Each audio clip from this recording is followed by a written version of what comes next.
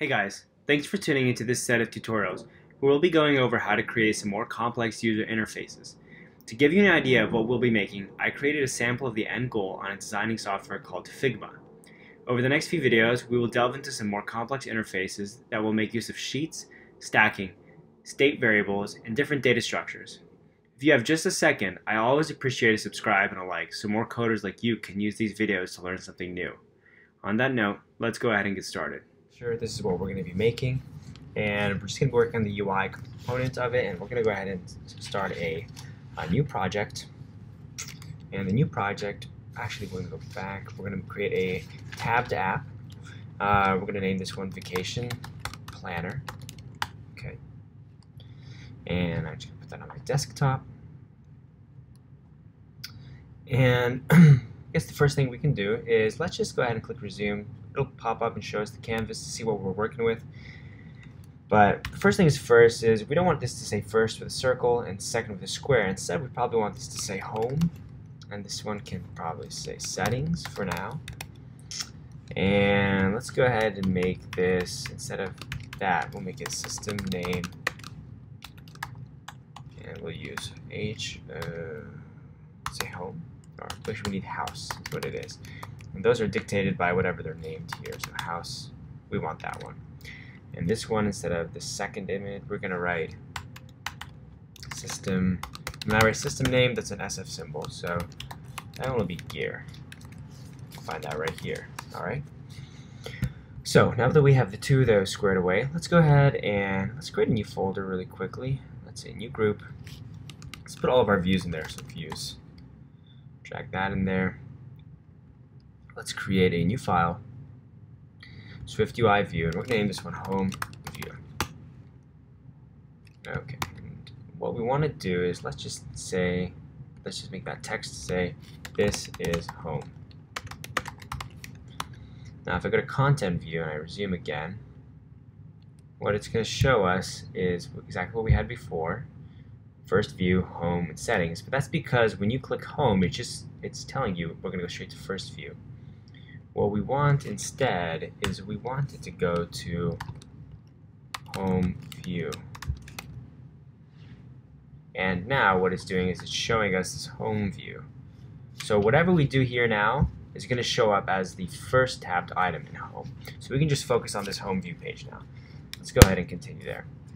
So instead of this this is home, let's go ahead, actually we can keep it for now. We'll just create a VStack, okay? So let's embed this inside of a VStack. Okay, let's keep an eye on this so we know where we want to go with this, okay? So we're going to want a search bar, and we're going to want this scrollable uh, content right here, and we're going to want all of this to be, uh, you know, we want to be able to scroll up inherently. So let's go ahead and start by creating, this is going to be a, let's, we'll say this is a, a text field. This is going to be um, an H stack, and the rest of it will be one huge V stack. And all of that will be inside of a scroll view.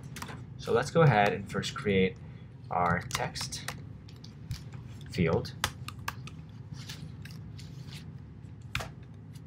Okay. Or even better, I prefer to actually grab it from here. So text field. Okay. And we need somewhere to store this text value. So what we need to do is we need to create a state variable. And that state variable will be um, of type, so uh, call it val.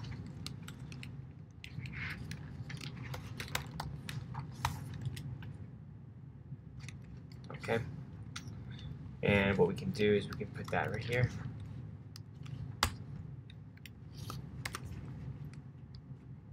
Okay, and that should take care of that. And what we need to do now is put a spacer, spacer. That'll shove everything upwards. Hit resume. That's what we're looking for so far. Okay. Let's give this, I like to give everything a funky color background while I work so that way I know where everything is and that includes padding and all that kind of stuff. So let's put that there. Let's give it a padding. Okay.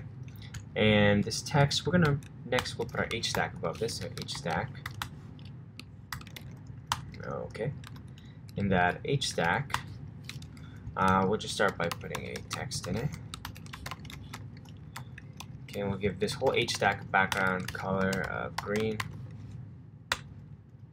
Okay.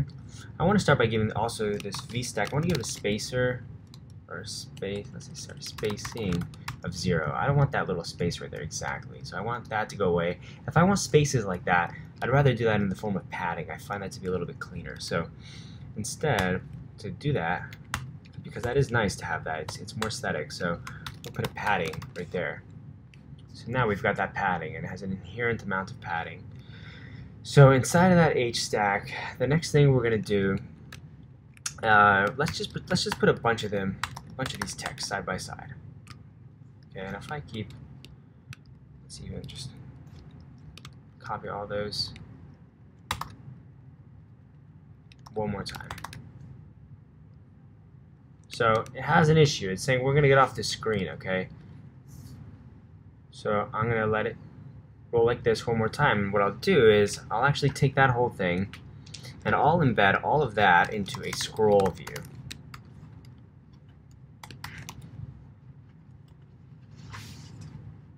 Okay. And let's give everything in there. Let's say this H stack has a height. Well, inherently a scroll view has a scroll and a vertical dimension. So what we need to do is we need to say the axis, the axis is horizontal. That's a crucial component there.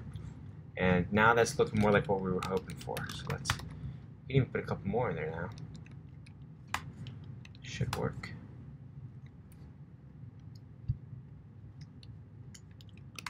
Let's just get rid of it. We'll come back to that so that that will be the area where we have all of um, all of the scrollable content. But we'll get back to that, okay? So that's good enough for now.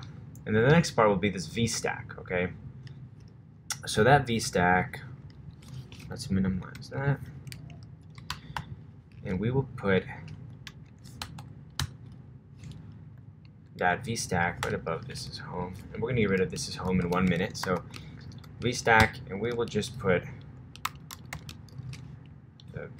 this is the V stack.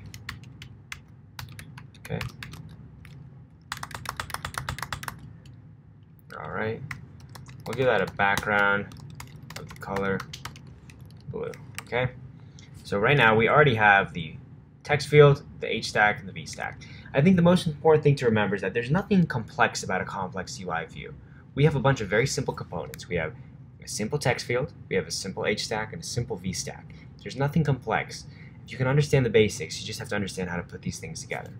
So that is probably a good place to wrap this video up, and in the next video we'll continue making our way towards this. I know this looks nothing like this, but it really starts to pick up really quick the, how much the two will look alike. Alright.